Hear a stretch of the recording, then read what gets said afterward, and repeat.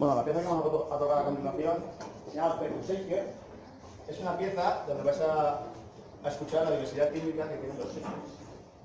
Vamos a pasar por ritmos como la bolería, el, el- la rumba, la samba, marcha militar. Ahora sí.